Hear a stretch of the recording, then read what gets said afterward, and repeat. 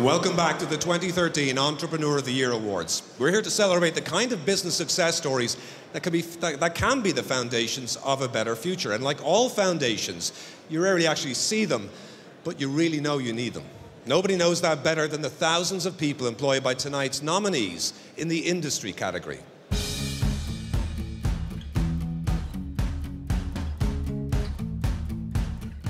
Brian Hogan has guided the Kylemore Services Group through many changes. Today, he employs 1,000 people at 120 sites across Ireland. What makes an entrepreneur is his ability to fail and get back up again, because we all fail. You work so hard, you have a vision, people don't believe in you, and then when it comes right, you look to be super and everybody's clapping you on the back, but nobody really remembers the dark days on the journey. I think fear of failure is something that we all have, but I think the successful ones are the people who don't let it run their lives. Under Seamus McCaig's leadership, Creagh Concrete has thrived in challenging times. A focus on new products in new markets has enabled Seamus to build the workforce to higher than pre recessionary levels. We kept dialogue going daily, good communications in the company, and bit by bit the confidence and the belief came through 2009, 2010. Look, there is a way through this. We can get through this. Being part of this is about Creagh Concrete. It's not about me, it's been part of Creagh Concrete and been part of the communities and the parish and the whole area where I come from. I'd be conscious of that, that I, I come, you know, I do it justice. Martin Hamilton wanted to add value to the land he farmed, so he launched Mash Direct in 2004. He's been harvesting impressive returns ever since. His family business now boasts revenues of £12 million and 120 employees. Don't make one pack of it if you're not going to go out and sell it if you're not going to go out and sell and market it as hard as you are putting the passion into producing it, you could produce a pile of product the size of Slieve Donard, and if you're not going out there with a sales and marketing team, it'll sit like a mountain. Jimmy Martin and Austin Ryan co founded Limerick based AMCS Group to design software for the recycling and waste management industry. Employing 135 people, its technology currently services 10 million bins worldwide if you start a business, you're, you're going to make mistakes, so never be afraid of that. I suppose the key thing is to limit the number of big ones and to learn quick from them. The energy we drive off under is like an engine, you know. when the piston kicks in, the petrol has come on, and we complement one another a lot in that way. It's always vital that you get support from, from your family and loved ones and your friends, and that they drive you on. I think that was key. A good wife was very key.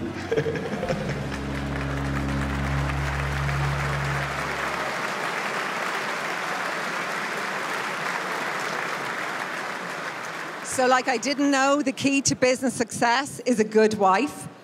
Got to tell my husband that when I get home from work.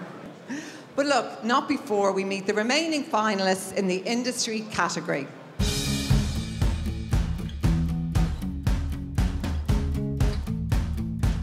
Caroline Keeling heads up the thriving Dublin fruit producer and distributor Keelings. The enterprise, started by her grandparents in the 1930s, has now expanded into the UK, Europe, and Asia and employs 2,000 people. It's really nice to be nominated um, and then quite proud of our team because um, obviously without the team doing all the hard work I wouldn't be here. I'm very passionate about the business. It's not very difficult to be passionate about a product you love eating yourself. There's a little bit of resilience in me when things are tough because they, they're always going to be tough. There's always going to be decisions you get wrong and you need to keep going. A decade ago, Kerry man John Rice set up Jam Media with two friends. With studios in Dublin and Belfast, the company is currently making the third series of the BAFTA winning Roy for the BBC. I think I'm probably more creative in business than I ever was with a, with a pen and paper. I think if I have any talent, it's maybe to be able to see talent in others, to build teams around that talent. Um, I wasn't the best animator in the world when I used to draw, but I know animation, I know the business, I know what, what a great animator is. And instead of being the best animator, I can now, you know, hire and work with the best animators. In just 10 years, Liam Woulfe's Freshgrass Group has secured a 25% share of the fertiliser market in Ireland. And a new joint venture with French agri giant group Roullier creates exciting opportunities for innovation. My father was a farmer and uh, there's no doubt about it, expansion and growth was part of his philosophy every day. We don't often give, uh, we'll say, the farming community credit for the challenges they go through because they're both a financier, a banker, a cash flow manager, a, a guy that has to do the work, and, and ultimately the guy that has to be the family man. But all that, you know, is the ultimate in, in, entrepreneurship. You know, when you're grown up in that environment, it's very hard that not to rub off on you if you have an inclination in that direction. Peter Dixon was instrumental in introducing natural gas across the Irish Sea in the mid 1990s. With Kellen Investments, he has extended the network's reach to 170,000 homes and businesses in Belfast. I left school at 16, I had no qualifications. I lived in a poor housing estate and someone gave me the greatest opportunity in my life 37 years ago, which was to have an apprenticeship. And from that moment on, I grabbed every opportunity I had as if it was the last one, because the dreams of youth inevitably become regrets of maturity. I would tell people to live out their dreams as early as they possibly can.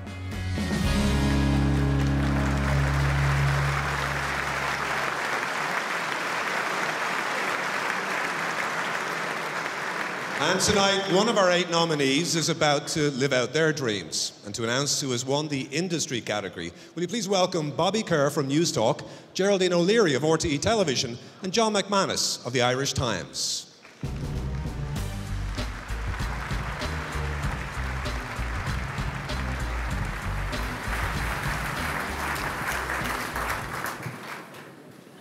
Tonight's industry nominees exhibit real courage identifying opportunity where others only see risk. Their booming businesses suggest the Irish economy is in safe hands. And the 2013 Industry Entrepreneur of the Year is.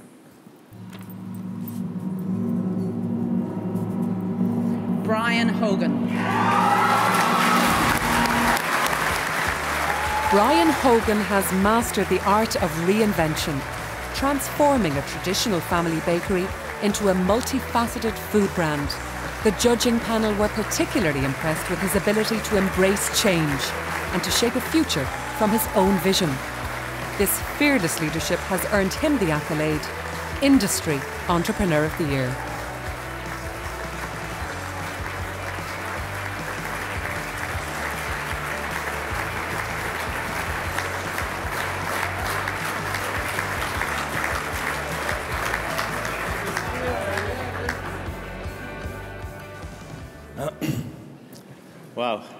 Was really a surprise. Uh, Taoiseach, Minister, partners in EY, fellow finalists, uh, what can I say? It's just amazing. Henry Ford famously said, You can take away my factories, just give me my people.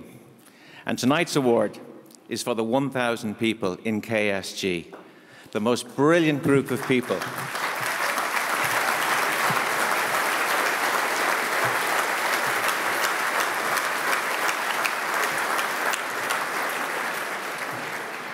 Their passion, the focus, the drive, the determination, the sense of excellence about everything they do drives us every day. And it is just so refreshing every morning to go to work. Guys, this is for you. Thank you so much. Thank you.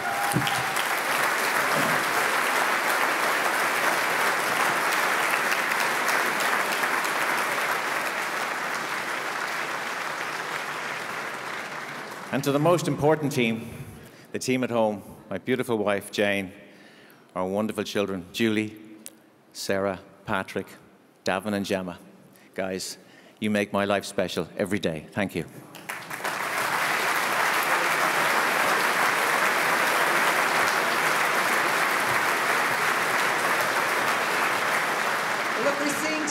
Close up how much we at home actually benefit from new ideas in industry. But it's impossible to ignore how much this country depends on our reputation abroad and on the people who get out there and take on the world in our name. Well, tonight's nominees in the international category are continuing that tradition, bringing the best of Irish to the rest of the world and hopefully bringing the world to our doorstep.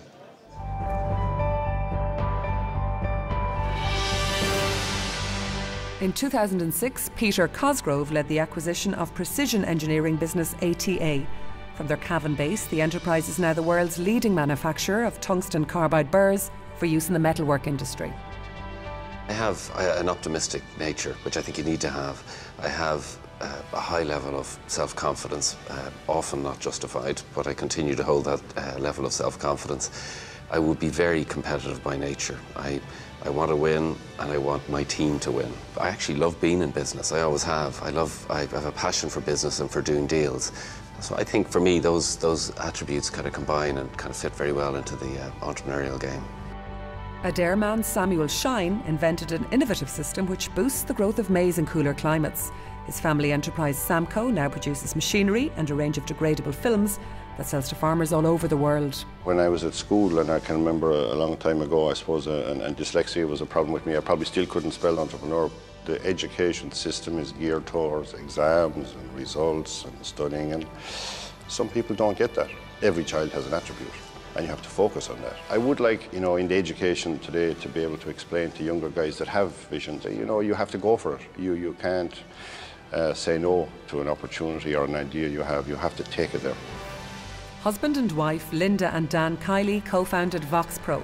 They now have three locations in Cork where their 400 employees provide multilingual technical support for American organisations with European customers.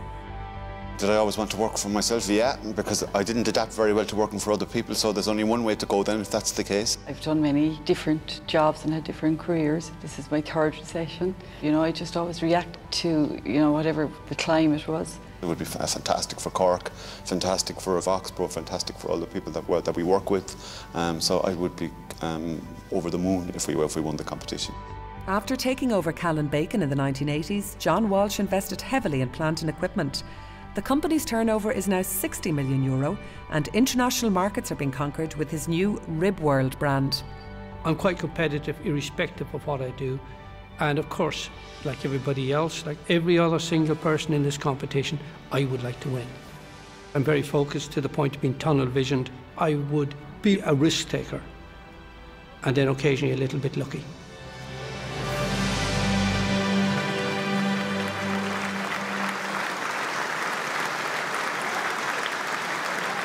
Well, I can tell you from experience that many of tonight's entrepreneurs depend on that occasional bit of luck. But as the great golfer Gary Player said, the more you practice, the luckier you get. Let's see some of the hard work put in by the final four nominees in the international category.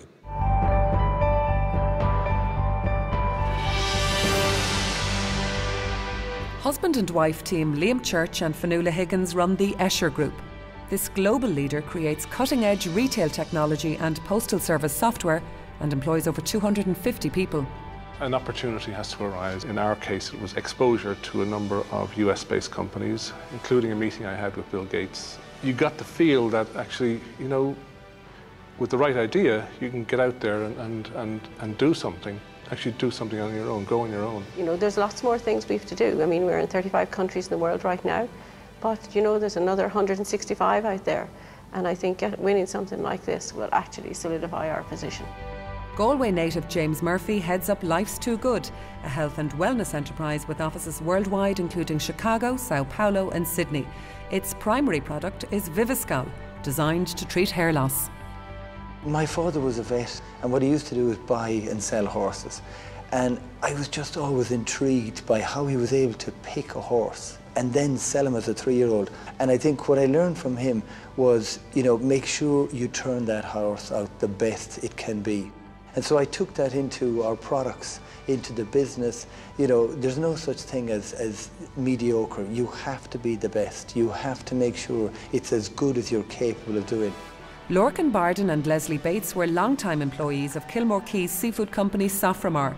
In 2000, they bought out the business and trebled its turnover, exporting shellfish to Europe and Asia. Well, we felt there was a lot of uh, unrealised potential in the business, that there new opportunities to be exploited, and we felt if we had control of the business that we could take advantage of this. When I started here 30 years ago as a general operative, I worked seven days a week.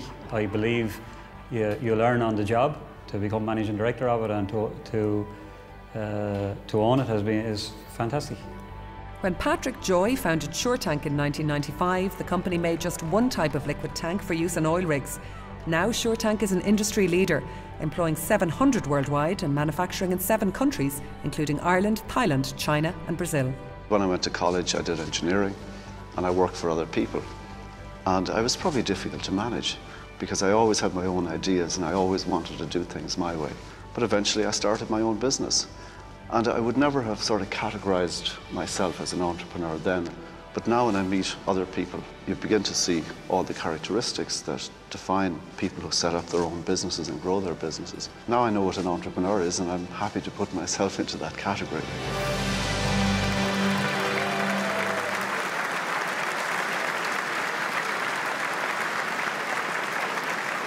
Well, it took Patrick all these years, as he said, to find out that he showed all the signs of being an entrepreneur. But I'm sure all eight nominees are keen to find out which of them is actually the 2013 winner. Well, to announce the International Award, please welcome Tom Hayes from Enterprise Ireland, Margaret Harty from Intertrade Ireland, and Jeremy Fitch from Invest Northern Ireland.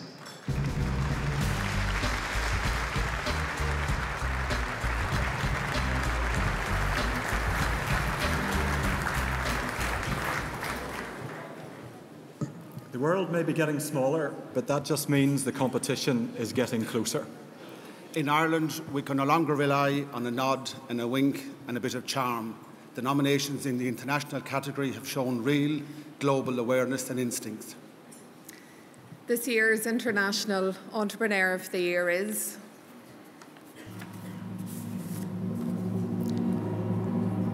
Patrick Joy.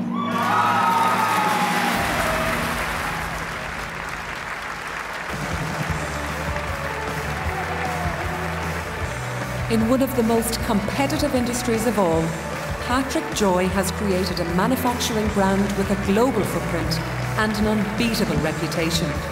SureTank Solutions have become a critical link in the operations of the world's largest companies. An inspirational Irish ambassador, Patrick Joy is the 2013 International Entrepreneur of the Year.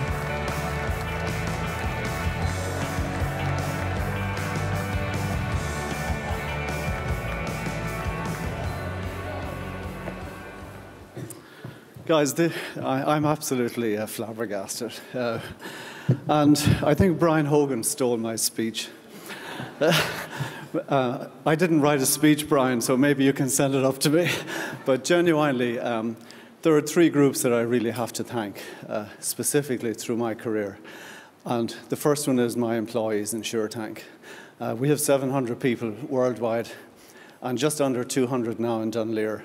They're a fantastic group of people, very innovative, and without them, the business would not be where it is today, and they're going to grow it so well in the future. As with all us entrepreneurs, we have to mention, we have to recognize that we can't do it without family. And in particular, my wife Mary, who allowed me, who, who encouraged me uh, through my career, who pushed me out the door, allowed me to go out while she looked after the family. Mary, thank you very much. This is as much yours as it is mine. I love you. Great. Thank you.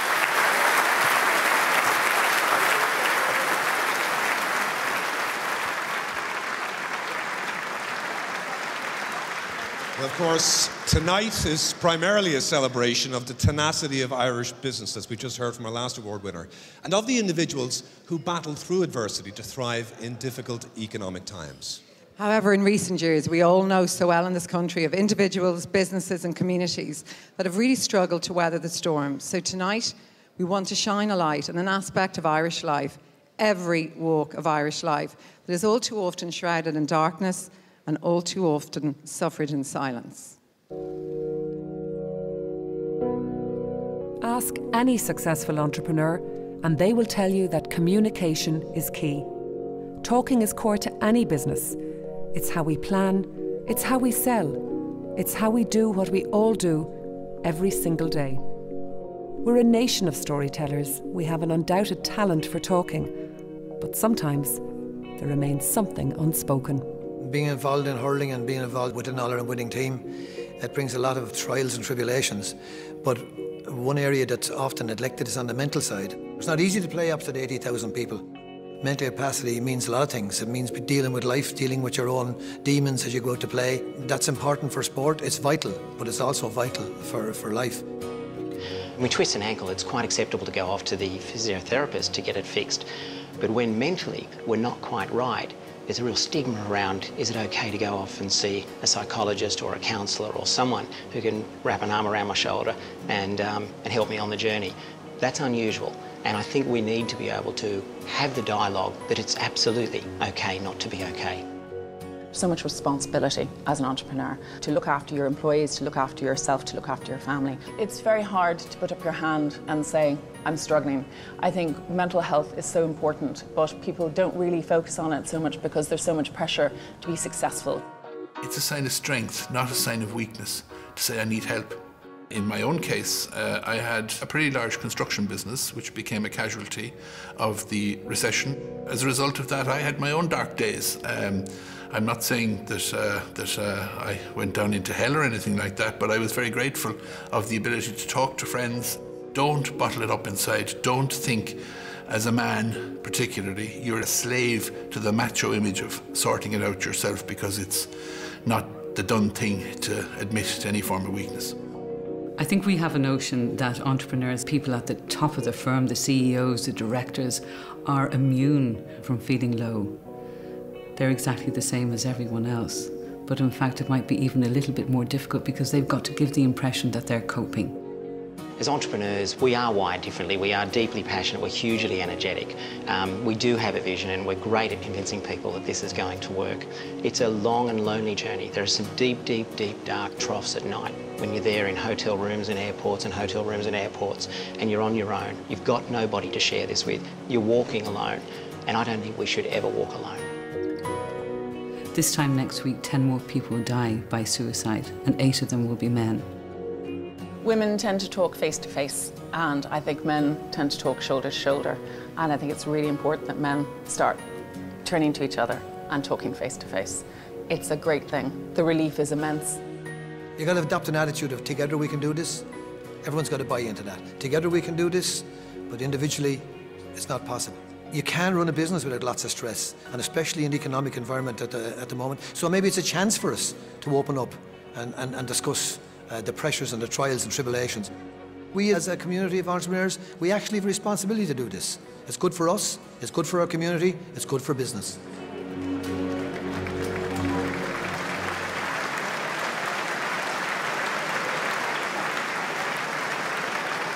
And I hope we can all take something away from that. It's good to talk, and it's absolutely vital to listen. Join us after the break when we will name the 2013 Entrepreneur of the Year.